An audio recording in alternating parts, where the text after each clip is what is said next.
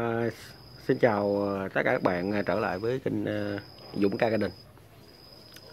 À, khi mình thực hiện ờ, quay clip vấn đề về ủ tất cả các loại, đặc biệt là những cái loại mà ờ, bỏ từ thực vật, ờ, người ta sẽ trở thành phân hữu cơ. Thì ừ, các bạn hay có ý kiến rằng là các bạn hay nói là à, trong cái quá trình mình mình làm đó ví dụ ví dụ như trấu như thế này đi thì mình chỉ cần phơi rồi mình mình xả nước rồi mình phơi như thế này. Rồi mình sử dụng được thì ok. Mình sử dụng là sử dụng được thôi. Còn à, trong cái quá trình mà mình sử dụng mà đặc biệt là những cây con nó chậm lớn nè. Mình trồng rau nó không thành công hoặc là mình trồng cây kiển nó hay bị nấm mốc à, quy khuẩn nó tấn công thì đa phần là do cái quá, quá trình mình xử lý giá thể chưa có tốt nha các bạn chứ mình mình đừng nói là mình mua về mình trồng luôn vẫn được. Đúng rồi mình mua về thì mình trồng được do mình thôi nhưng mà về cái cái kết quả mình nhận được sau này nó không thành công nha các bạn. Trấu sống hay sơ dừa hay tất cả các loại bã thực vật đều phải trợ đều phải chúng ta phải ủ cho quay mục để chúng ta xử lý. Thì cây trồng của mình nó mới đảm bảo nó phát triển được nha các bạn. Đó cái đó mà Dũng chia sẻ cho các bạn à, từ loại trấu sống cho đến sơ dừa vân vân. Thì à, à, trong tất cả các thành phần mà mình dùng á, thì tro trấu á, tro trấu là cái phần mà uh, trấu sống này nè người ta đốt nát lên thành tro. Thì đương nhiên cái đó là chỉ có cái đó là mình không cần ngủ thôi. Nhưng mà mình phải xả qua nước thật nhiều lần cho nó bớt cái cái mặn đi bớt cái muối trong trong phần tro trấu đi. Đó. Rồi à, đó là mình chia sẻ với các bạn. Rồi à, một bạn nói là một cái bịch như này. Một cái bịch trico này mắc. Cái bịch trico trico này mình mua mấy chục à? Một ký này mình như mua bốn năm chục. Bộ khuyến mãi trên shop khuyến mãi. Đó bạn bạn tự trồng cây, bạn tự làm chủ, bạn có rau sạch bạn ăn mà nó đem lại thành công. Thật sự là cái số tiền mình bỏ ra nó vẫn có lời hơn so với mình đi chợ các bạn. Nếu mà mình mình biết trồng đúng kỹ thuật. Đó. Đây đây là những cái luống dưa mà mình mới gieo lên này các bạn. Đây. Đó, các bạn thấy là cây cực kỳ tốt và ươm cây con lên 10 cây, lên đủ 10 cây. Điều đều là do mình đã xử lý kỹ. Hoàn toàn là cây không có hiện tượng sốc, chậm lớn, còi cọc, nấm bệnh nó phát sinh. Lúc trước mình trồng á mình cũng như các bạn thôi. À, mình dội vàng trong cái quá trình mình xử lý cái này. Mình dội vàng trong quá trình mình mua về là mình trồng luôn. Thì mình phải trả giá cái gì? Cái hậu quả ra là mình sẽ rất là nản. Tại vì mình trồng rau không bao giờ mình thành công. Đây cho bạn cái đợt ớt này. Đợt ớt thì hiện tại mình có à, 5 cây. Mình thu tới thời điểm hiện tại bây giờ mình hái là khoảng à, 4 mùa rồi bạn. Nó rơi vào khoảng tầm gần 4 kg mình ăn đâu có hết. Đó. Thì những cái ớt này mình chia sẻ với bạn. Trong những cái clip ờ, sắp tới mình sẽ chia sẻ với bạn ha đó. Đó. ớt này mình chăm mình cho nó ăn phân hữu cơ nó rất là bền các bạn rất là bền cây. Thậm chí nếu mà cây nào bền mình ít dịch bệnh á, mình chăm đúng kỹ thuật á, nó sẽ sống một năm hai năm là chuyện bình thường. Đối với cây ớt sim trắng này mình chia sẻ thật với các bạn luôn. Mình trồng mấy cái ớt này thôi là mình không bao giờ có cái niềm ra chợ mình mua. Đó.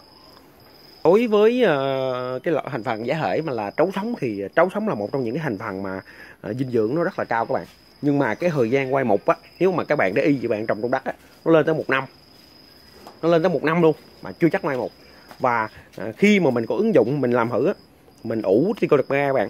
Mình ủ trong thùng xốp cực kỳ nóng luôn. Mình phơi làm bao nhiêu lần luôn. Bao phơi xả nước phơi nắng bao nhiêu lần nắng luôn.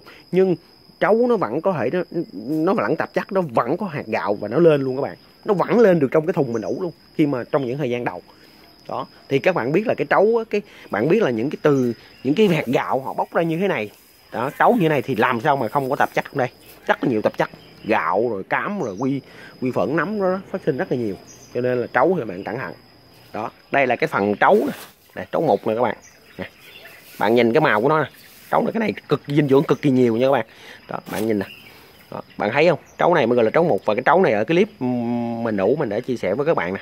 À, trấu một nè này mình trồng kiện lá nữa mình có ít dừa cục nữa các bạn. Đây đây là sơ dừa. Thì mình sẽ có một cái clip ờ, làm chi tiết về cách xử lý sơ dừa uh, cho các bạn xem. Đó. Thì uh, đối với sơ dừa thì mình có thể là mình mình mình chơi cái chiêu là mình để cho quay một và mình không cần phải phải xả qua voi. Còn nếu mình kỹ á mình không có thời gian làm vậy á, thì bắt buộc là mình phải xả qua voi nha các bạn do nông nghiệp á. Tại vì dừa nó có độ chát và nó chua lắm các bạn nó có nó rất là là nguy hiểm. Cái sự phần nhất là phần sơ dừa đó cám dừa đó các bạn. Đây. Đây là cái cái phần trấu ờ, sống mình đã ủ quay mục. Thì đối với các bạn mà xuống trấu trong đất như thế này thì mình nói các bạn là phải gần một năm thì nó mới mục như thế này. Trấu này rất là nhanh quay mục khi mình sử dụng trichoderma và chế phẩm sinh học emit. Đó đây. À, mình là mình đi toàn là phân uh, hữu cơ ha phân bò. Đó bạn thấy là dưa của mình này là mình ra chậu được rồi mà mình chưa có lu bu mình chưa ra được. Đó, rau răm ngò gai các loại các bạn thấy là à, mình à, xử lý mình xử lý kỹ thì thì à, cây mình đặc biệt là những cây con mình ôm lên đó, tỷ lệ thành công sẽ rất là cao các bạn. Và đây là là hai cái cái cây dưa bên đây của mình nữa. Đợt này đợt này mình à, dâm lên tới khoảng chục cây lần các bạn. Ở đây nữa hai cây. Sau này nó tấn công nè. Đó. Đó, còn đây là cái phân phân bò mà mình ủ một nát. Cho các bạn xem ha à, phân bò này mình rất là dùng mình rất ờ, là dành để mà bón cho những cây con. Đây, các bạn thấy không? Đây. Đó. Nó mục ra hành cám như thế này luôn nè các bạn. Đây, các bạn xem nè. Phân bò này nguyên chắc một nát các bạn thấy không? Nè đó. Thì cây ờ, cái phân bò này á mình bón mình bón cho cây là đảm bảo là đặc biệt luôn cây con luôn. Không bao giờ mà sốc mà chết. Cây sung rất là sung rất là phát triển. Còn đây là cái phân bò mà hôm trước mình đủ trong cái clip mình chia sẻ với các bạn nè đeo qua đây. Đây. Đó. mình đều có thể sử dụng được hết. Đó. đây. Đây là rau ờ, rau vị. Người ta còn gọi là rau quế quế quế vị. À, à, cây này thì à, nó sống dưới mương dưới bưng đồ. Nhưng mà mình vẫn có những cái cách để mà mình thuần nó được các bạn. Đó. cái này mình mới cắt tỉa mình mình mình mình cho người ta mớ với lại mình ăn mớ các bạn. Ừ. mình chưa có vô phân lại. Đợt này mình chưa có vô phân. Đó. đối với những cái rau quý vị như này, nó cực khó nhưng mà mình vẫn hừng được. Mỗi rau nó có một cái đặc tính riêng. Nhưng nhất là mình, cái khâu xử lý giá thể là cái khâu quan trọng nhất trong quá trình trồng rau. Đặc biệt là những loại cây cảnh luôn, cũng cũng vậy. Bây giờ mình sẽ ờ, xử lý cái phần ờ, trấu này các bạn. Mình làm trước không các bạn ơi? Mình làm trước để có cái giá thể mình xài đó các bạn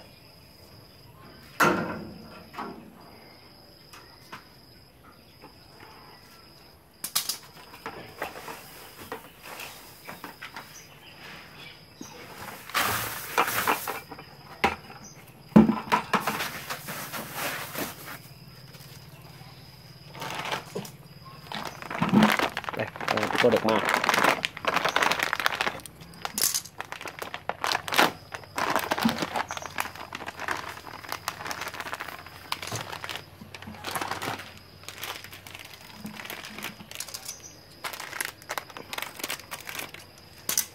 chế phẩm em.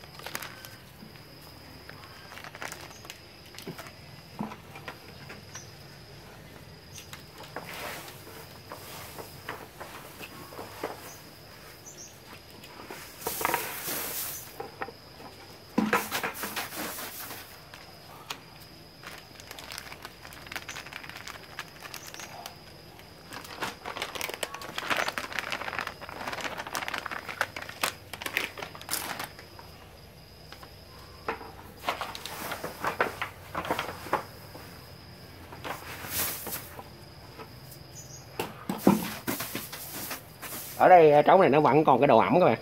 Trấu hoàng phơi khó khô lắm tại vì nó là dạng vỏ còn cái đầu ẩm á. Cho nên là mình à, không cần phải uh, cho nước thêm đâu. Ủ mà nó ẩm ẩm thì cái tiêu đợt nga nó mới phát triển mạnh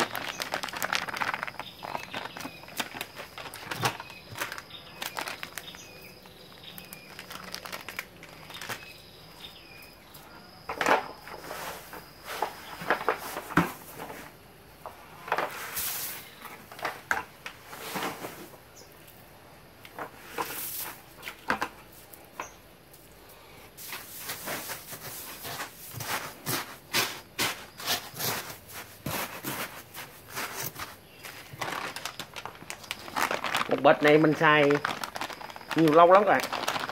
50 ngàn bạc.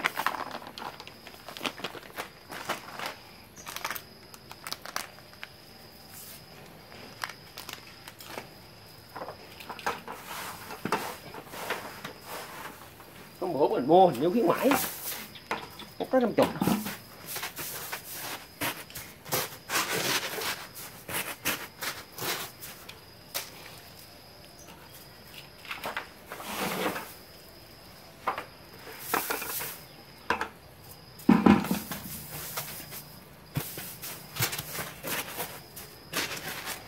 Mình đủ khoảng hai ba tuần mình à, đảo một lần.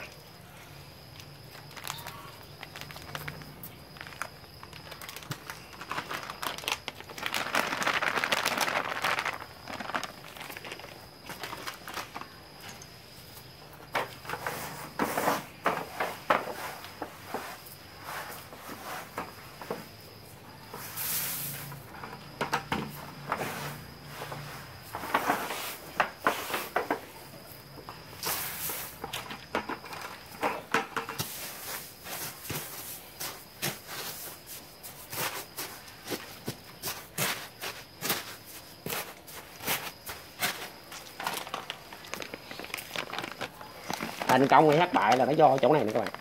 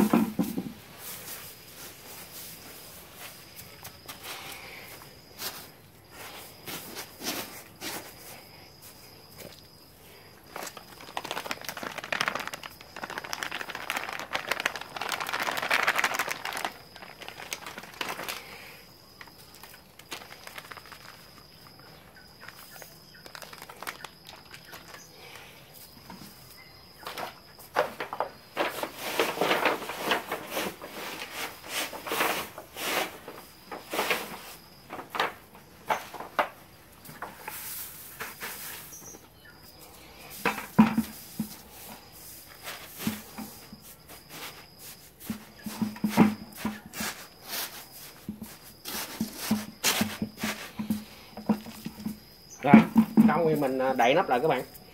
Dán băng keo cũng được, mình à, ghi ngày lại các bạn là ok.